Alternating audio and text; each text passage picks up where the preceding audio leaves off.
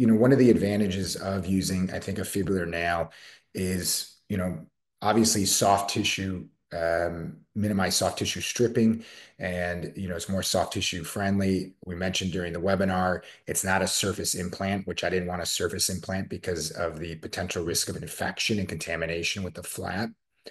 Uh, but um, not necessarily in this case because the uh, subtalar joint was fused, as you can see here. But it does provide, I think, um, a lateral strut as well as, you know, potentially better biomechanics to allow for earlier weight bearing. And, you know, we're we're kind of uh, looking at that a little bit even in some more neuropathic or diabetic patients. I mean, do we really need to keep the diabetic patient non-weight bearing for an extended period of time? I think the answer is yes. We need to keep them non-weight bearing and protect them longer. But with a stronger construct that we potentially are using, I think we can allow earlier weight bearing. And I think that's what the nail allows. We've seen that in other fractures. And obviously, this is not the femur. This is not the tibia. This is not the humerus. I get this. This is a fibula.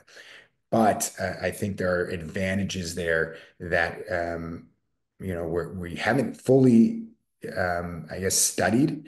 And, you know, I think hopefully some of our future studies and reviews will show at least will it be possible. And and I hope the answer is yes. I don't. We don't have that definitive answer, but I hope it is.